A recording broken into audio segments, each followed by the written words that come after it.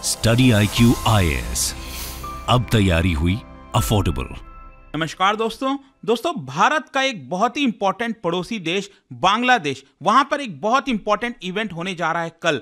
Seventh of जनवरी को वहाँ पर जनरल इलेक्शन होगा और ये आप देख सकते हो Bangladesh elections why India matters across the border तो इसके बारे में हम डिटेल से जानेंगे। मैं आपको बताऊँगा कि बांग्लादेश में जो इलेक्शंस है वो किस तरह से होता है इसमें और भारत में कितनी ज़्यादा सिमिलैरिटीज हैं। और भारत क्या चाहता है बांग्लादेश में? और इसका जो पूरा पॉलिटिकल सिस्टम है, वो आपको समझ में आ जाएगा। चलिए आगे बढ़ते हैं, लेकिन उससे पहले ध्यान रखिएगा, आज से हमारा एसआईपी प्लस बैच स्टार्ट हो रहा है। मतलब अगर आप यूपीएससी 2024 का प्रीलिम्स का एग्ज़ाम दे रहे हैं 26 मई को तो ये जो बैच है, ये आप ज्वाइन करते हैं तो आपका जो पूरा रिविजन है प्रिलिम्स के परस्पेक्टिव से, जो टेस्ट सीरीज़ हो गया, सब कुछ आपको मिलेगा ताकि आपका प्रिलिम्स क्रैक हो सके। इसके लिए आपको हमारे वेबसाइट ऐप पर जाना है, या फिर कमेंट सेक्शन में लिंक है और यूज़ करना है कोड अंकित लाइव ताकि आपको मैक्सिमम डिस्काउंट मिले। और मान लीजिए, अगर आपको पूरी तैयारी करनी है प्रिलिम्स मेंस इंटरव्यू सब कुछ। तो हमारा फाउंडेशन बैच ज्वाइन कर सकते हैं या फिर आरबीआई ग्रेड भी अगर आपको लेना हो, जो भी कुछ आपको चाहिए जस्ट यूज़ दिस कोड और इसके अलावा अगर आप एमसीक्यूज अटेम्प्ट करना चाहते हैं तो मेरे इंस्टा पेज पर जा सकते हैं, वहाँ पर स्टोरीज में जितने भी एमसीक्यूज हैं, उसको आप अटेम्प्ट कर पाएँगे। चलिए शुरुआत करते हैं और सबसे पहले ये देखते हैं कि एग्जैक्टली हो क्या रहा है। जैसा मैं आपको कह रहा था, कल संडे को सेवेंथ ऑफ़ जनवरी को, बांग्लादेश में यहाँ पर जनरल इलेक्शन होगा। जैसे भारत में लोकसभा का इलेक्शन होने वाला है अभी अप्रैल, मई के महीने में, उसी प्रकार से बांग्लादेश का कि आखिरकार किसकी सरकार बनेगी? प्राइम मिनिस्टर कौन बनेगा? और आपको पता है, इस समय जो सरकार है वहाँ पर बांग्लादेश में, वो आवामी लीग पार्टी की है, जिनकी जो लीडर है शेख हसीना, वो इस समय प्राइम मिनिस्टर प्राइम मिनिस्टर के पद पर हैं। वैसे मैं आपको बता दूँ कि जो उनकी मेन ऑपोजिशन पार्टी है, उन्होंने इलेक्शंस फिर से बॉयकॉट करने का निर्णय लिया है। खैर, यहाँ पर अब पहला क्वेश्चन ये है कि आखिरकार बांग्लादेश में इलेक्शन कैसे वर्क करता है?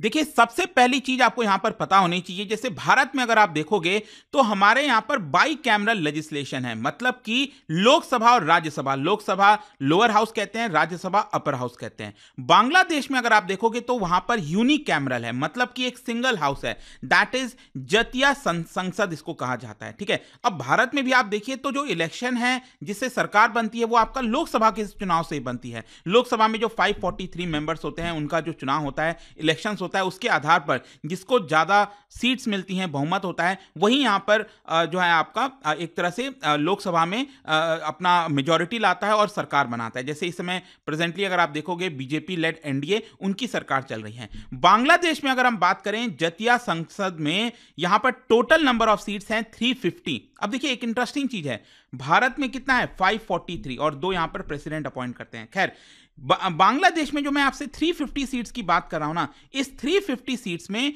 चुनाव होता है सिर्फ़ 300 सीट्स पर। और सेम वैसा ही जैसे भारत में होता है। जैसे भारत में first past the post system है। मान लो एक कॉन्स्टिट्यूएंसी है, वहाँ पर तीन कैंडिडेट्स हैं। एक कैंडिडेट्स को यहाँ पर 40 परसेंट वोट मिला, दूसरे को यहाँ पर 30 परसेंट वोट मिला और तीसरे को भी 30 परसेंट वोट मिला। तो यहाँ पर जिसको ज़्यादा वोट मिलता है, जो first past the post system कहा जाता है तो उस हिसाब से वो कैंडिडेट जीत जाता है। सेम उसी प्रकार से बांग्लादेश में भी हर एक कॉन्स्टिट्यूएंसी के ऊपर इलेक्शन होता है। लेकिन जैसा मैंने आपको बताया कि जो इलेक्शन होता है यहाँ पर, वो सिर्फ़ 300 सीट्स पर होता है। तो बाकी के 50 सीट्स का क्या हुआ? देखो 300 सीट्स में जिसको मेजोरिटी मिलती है, जो सरकार बनाता है उसके पास पावर होती है कि वो बाकी के जो 50 सीट्स हैं, वहाँ पर महिलाओं को अपॉइंट किया जा सकता है। मतलब कि बाकी की जो 50 सीट्स होती हैं, वो रिज़र्व होती हैं फॉर वुमेन और वो जो रूलिंग पार्टी होती है कोलेशन पार्टी होती है, वो यहाँ पर एक तरह से अपॉइंट करती है। तो ऑब्वियस सी बात है, यहाँ पर जो भी यहाँ पर चुनाव जीता, बाकी का 50 सीट्स भी उसी का हो जाएगा, क्योंकि वही पार्टी एक तरह से अपॉइंट करेगी।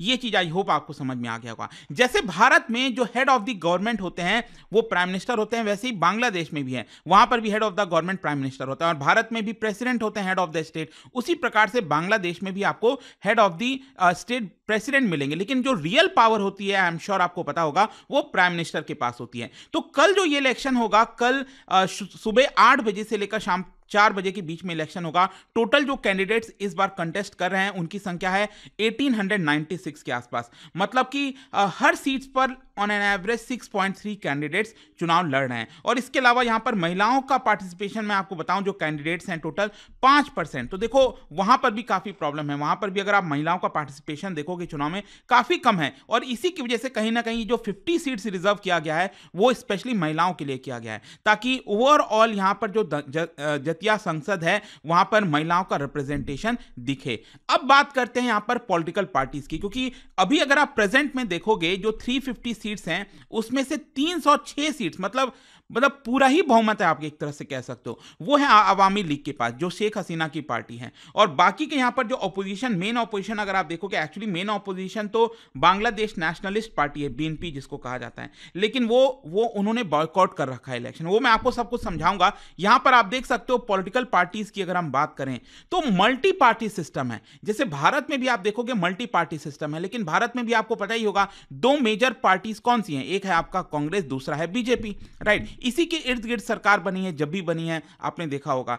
तो यहाँ पर क्या हुआ है कि नाइनटीन से बांग्लादेश में वहाँ पर ड्यूओपोली हो गई है। वहाँ पर भी दो मेजर पार्टीज़ है। एक, जैसा मैंने आपको बताया, शेख हसीना की पार्टी आवामी लीग और जो दूसरी पार्टी है, वो है आपका बीएनपी, बांग्लादेश नेशनलिस्ट पार्टी, जिनकी लीडर है खालिदा जिया। ये पिक्चर में आप देख सकते हो, खालिदा जिया। इसका सब कुछ हिस्ट्री मैं आपको अभी बताता हूँ, लेकिन यहाँ पर मैं आपको बता दूँ 1991 से लेकर अभी तक अगर आप देखोगे तो आवामी लीग, जो शेख हसीना की पार्टी है, उन्होंने वो चार बार पावर में रही है। और जो जो बीएनपी है खालिदा जिया की पार्टी, वो दो बार पावर में रही है। और मैं आपको बता दूँ, आवामी लीग की अगर हम डिटेल से चर्चा करें तो आवामी लीग 1949 में फाउंड किया गया था। अब आपको पता होगा, देखो, ये जो मैप आप देख रहे हो, ये मैं जस्ट जब जब आपका पार्टीशन हुआ था, देश आज़ाद हुआ था, उस समय का आपको बता रहा हूँ। यहाँ पर आपको पता होगा कि हैदराबाद, जूनागढ़, कश्मीर ये लोग अभी तक भारत से के साथ नहीं आए थे। वो बाद में चीज़ें बदली थी। खैर, यहाँ पर आप देख सकते हो, ये रहा आपका वेस्ट पाकिस्तान और ये आपका कहा जाता है ईस्ट पाकिस्तान। तो यहाँ पर क्या था कि पहले ये दोनों पाकिस्तान हुआ करते थे। तो एक्चुअली 1949 में बांग्लादेशी नेशनलिस्ट जो है वो ऑल्टरनेटिव के तौर पर आई।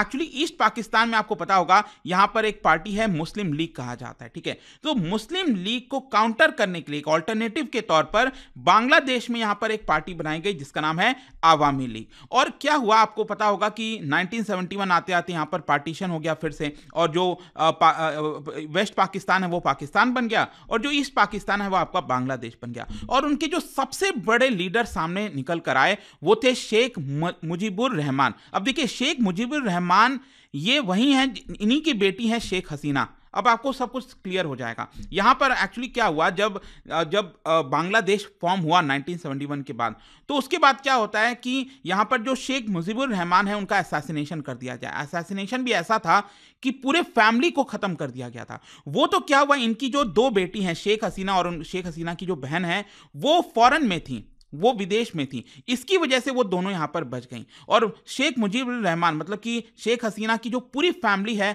उनका असैसिनेशन कर दिया गया, उनका खून खरा मतलब बहुत ही खतरनाक तरीके से ये पूरा वेल प्लान किया गया था। और 2009 से लेकर शेख हसीना अभी आपका जो है प्राइम मिनिस्टर के पद पर बनी हुई है। तो 2009 से अभी तक लगभग 15 साल से शेख हसीना प्राइम मिनिस्टर के पद पर हैं। यहाँ पर अगर हम बात करें बीएनपी की बांग्लादेश नेशनलिस्ट पार्टी जिनकी लीडर हैं खालिदा जिया तो इनका मैं आपको बता दूँ, ये फाउंड किया गया था 1978 में बाई जियाउर रहमान। जियाउर रहमान कौन थे? फॉर्मर आर्मी जनरल थे। तो क्या होता है कि इनका भी असैसिनेशन कर दिया जाता है 1981 में। और इसी की वजह से इनकी जो वाइफ हैं, खालिदा जिया, वो पार्टी को लीड कर रही थी टिल 2018 तो खालिदा जिया 2018 तक लीड कर रही थी। तो उसके बाद क्या हुआ? उसके बाद इनको हाउस अरेस्ट कर लिया गया। तो जेल में उनको रखा गया और 2020 से ये हाउस अरेस्ट में है। तो खालिदा जिया इस समय लीड नहीं कर पा रही और इसीलिए उनके, उनकी जो बेटे हैं ठीक है, उनके जो बेटे हैं, खालिदा जिया के तारिक रहमान, ये पार्टी को लीड कर रहे हैं। लेकिन मैं आपको बता दूँ, तारिक रहमान ये ये भी बांग्लादेश में नहीं है इस समय। ये भी इस समय एग्जाइल में है लंदन में, ठीक है? तो इस तरह से बांग्लादेश नेशनलिस्ट पार्टी वर्क कर रही है। और पिछले पिछले कई वर्षों से अगर आप देखोगे तो इन्होंने यहाँ पर इलेक्शंस को बॉयकॉट कर रखा है। इनफैक्ट 2014 से ही यहाँ पर इन्होंने इलेक्शंस को बॉयकॉट किया हुआ है। इनका कहना है कि यहाँ पर जो इलेक्शंस कंडक्ट कराए जा रहे हैं बांग्लादेश में, वो सही तरीके से नहीं हो रहा है, वो ट्रांसपेरेंट तरीके से नहीं हो रहा है। शेख हसीना ने यहाँ पर इलेक्शंस को कंट्रोल कर रखा है अपने हक में और इसीलिए मेन प्रॉब्लम है। खैर, उसके बारे में आपको अलग से चर्चा करूँगा इसके बाद, लेकिन एक और चीज़ मैं आपको बता दूँ, जो थर्ड लार्जेस्ट पार्टी है बांग्लादेश में, वो है आपका जतिया पार्टी। मैंने आपको दिखाया था ना अभी ये जो चार्ट आपने देखा था तो यहाँ पर आप देखोगे जतिया पार्टी के पास 27 सीट्स हैं ठीक है? तो ये पार्टी इलेक्शंस लड़ रही है। तो इस समय अगर हम बात करें कल जो इलेक्शन होने वाला है तो उसमें खालिदा जिया की पार्टी जो है वो आपका बांग्लादेश नेशनलिस्ट पार्टी ये इलेक्शंस uh, नहीं लड़ रही और जो शेख हसीना की पार्टी अवामी लीग वो लड़ रही है और साथ ही साथ ये जो जतिया पार्टी है वो आपका इलेक्शंस लड़ रही है। अब क्वेश्चन ये है कि इलेक्शन में मेन इशू क्या है? देखो वैसे तो ये साफ़ साफ़ कही जा रहा है कि यहाँ पर जो शेख हसीना है, वो ऑलमोस्ट इलेक्शन जीतने ही वाली हैं, क्योंकि जो मेन पार्टी है बीएनपी वो तो इलेक्शन लड़ ही नहीं रही। तो यहाँ पर क्या है, जो सबसे बड़ा मुद्दा इस समय इलेक्शन का है, वो है फेयरनेस का, कि क्या जो इलेक्शन प्रोसेस है, क्या वो फेयर है कि नहीं? क्योंकि अगर मैं आपको बताऊँ तो इलेक्शंस हमेशा से बांग्लादेश में कई बार ऐसा रहा है जिसको लेकर कंट्रोवर्सीज रही हैं। चाहे आप बात करें मुजीबुर रहमान की जो विक्ट्री हुई थी 1973 में, उसके बाद से लेकर जियाउर रहमान जो जो खालिदा जिया के पिता थे सॉरी पति थे 1979 में। तो वो सारे इलेक्शंस में कंट्रोवर्सीज रही हैं। फिर उसके बाद क्या हुआ है मैं आपको बताता हूँ। यहाँ पर केयर टेकर गवर्नमेंट का सिस्टम आया बांग्लादेश के अंदर, ताकि वो एक इंडिपेंडेंट केयर टेकर सिस्टम होगी। जैसे भी पाकिस्तान में चल रहा है ना, पाकिस्तान में आपने देखा होगा। यहाँ पर जो प्राइम मिनिस्टर थे शरीफ, उन्होंने इस्तीफा दे दिया और इस समय केयर टेकर सरकार है पाकिस्तान में और वो लोग इलेक्शंस कंडक्ट कराएँगे। जब कोई नया पार्टी जीत कर आएगा, तब वहाँ पर प्राइम मिनिस्टर चुने जाएँगे।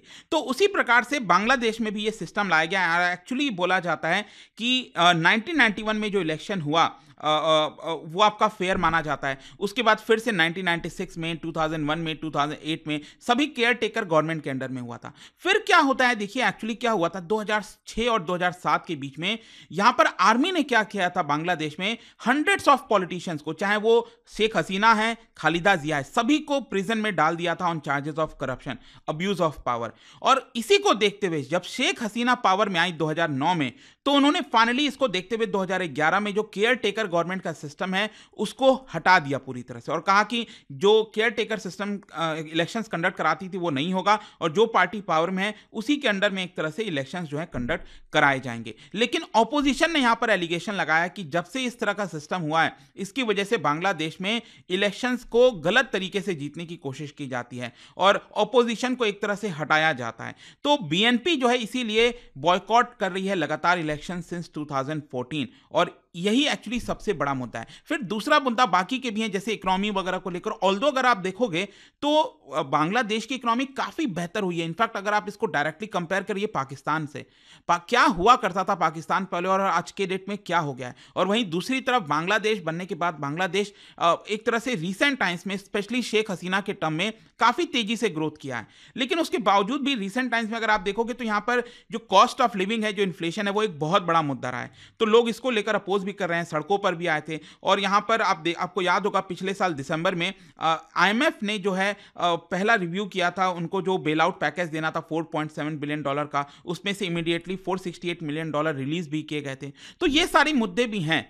खैर क्वेश्चन अब ये है कि यहाँ पर जो इंडिया है, जो भारत है, वो क्या चाहता है? देखो डिस्पाइट आप कितना भी कहिए, शेख हसीना की जो जो रूलिंग, रूल है, वो ऑटोक्रेटिक टेंडेंसीज है, या फिर जैसा भी आप कहिए, लेकिन भारत क्लियर कट चाहता है कि यहाँ पर शेख हसीना ही दूसरी बार जो वापस से मतलब प्राइम मिनिस्टर बने। और इसका कारण क्या है, मैं आपको बताता हूँ। शेख हसीना के साथ और भारत का जो रिलेशन है, वो नाइनटीन से ही है।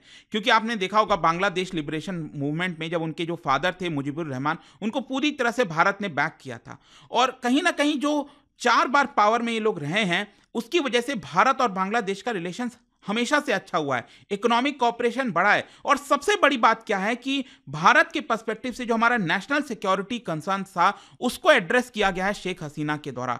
और इसीलिए यहाँ पर जो शेख हसीना की जो वापसी है उसको भारत चाहता है। वहीं अगर आप दूसरा बात करेंगे, खालिदा जिया की, जो बांग्लादेश नेशनलिस्ट पार्टी है, उनको तो भारत बिल्कुल भी नहीं चाहता, क्योंकि उनके समय में अगर आप देखोगे तो Bangladesh became a safe haven for terrorist and militant outfits मतलब एंटी इंडिया जो डिज़ाइन करके जितनी चीज़ें चलाई जाने की कोशिश की जाती थी। इनफैक्ट उन्होंने पावर में जब आई थी, खालिदा जिया तो उन्होंने अपना जो पावर है वो इस्लामिस्ट रेडिकल्स के साथ शेयर किया था। एंड उसको सपोर्ट किया जा रहा था पाकिस्तान आईएसआई के द्वारा। और कहीं ना कहीं इसीलिए हमेशा से नॉर्थ ईस्ट के अंदर बांग्लादेश की वजह से बहुत ज़्यादा ट्रबल रहता था। और पाकिस्तान भी यही चाहता था।